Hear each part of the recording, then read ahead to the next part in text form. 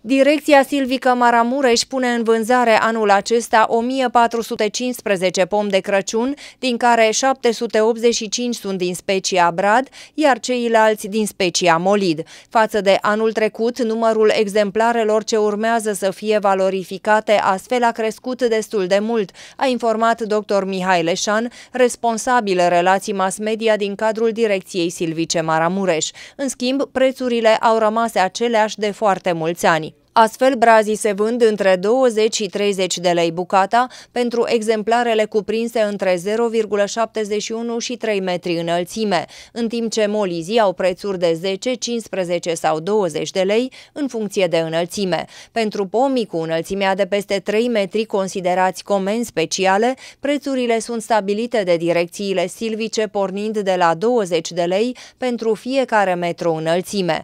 Vânzarea pomilor de Crăciun se face de către ocoalele silvice din județ în funcție de comenzile primite de la agenții comerciali sau direct către persoanele fizice.